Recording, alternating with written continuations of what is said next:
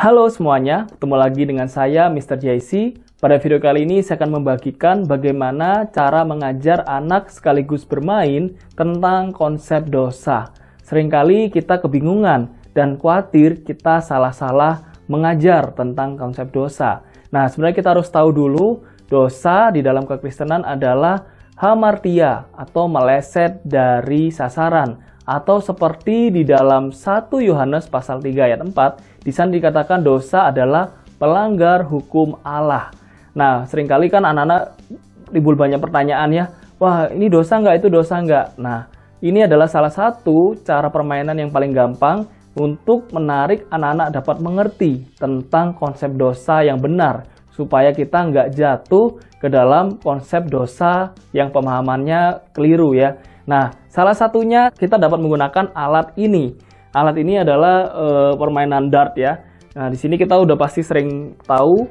Ini kita dapat beli ya, harganya juga nggak terlalu mahal. Dan saya beli yang magnet supaya nggak berbahaya bagi anak-anak.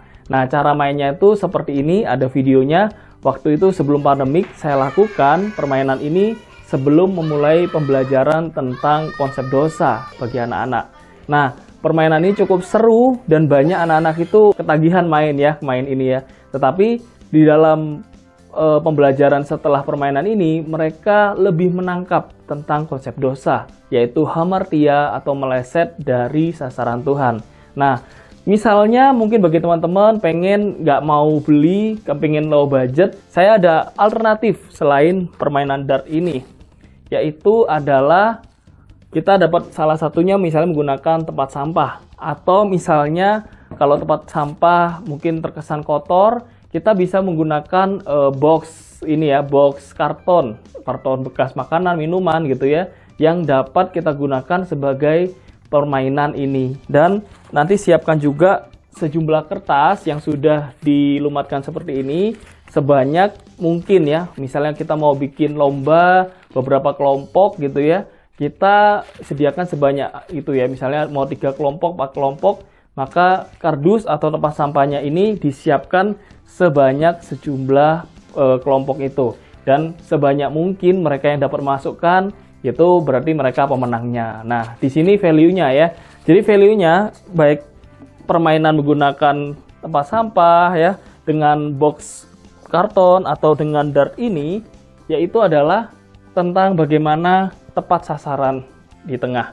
Kalau di luar ini, sekalipun masih di dalam lingkaran, tetap meleset. Karena Tuhan ingin mengendaki yaitu tepat sasaran. Tetapi kita bisa langsung masuk misalnya tentang kisah Adam dan Hawa, mereka yang harusnya taat tetapi mereka tidak taat, maka mereka meleset.